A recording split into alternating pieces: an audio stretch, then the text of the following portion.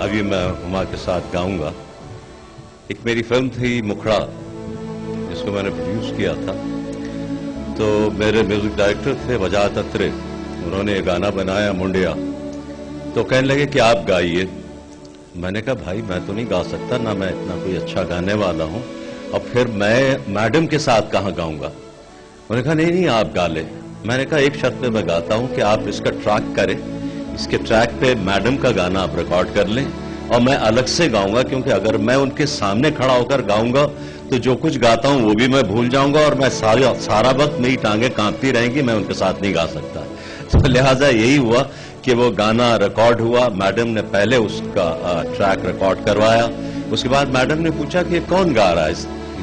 Mail जो voice है, वो किसकी होगी? उन्होंने कहा, जी, वो नदीम गा रहे तो कहले अच्छा तो उन्हें बड़ा ताजुब हुआ।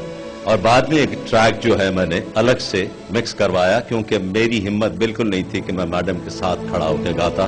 तो आज मैं वही गाना इतफाक से गाना हिट भी हो गया। मुखड़ा का एक गाना था, आज मैं वो गाना हुमा के साथ गाता हूँ, मुंडिया।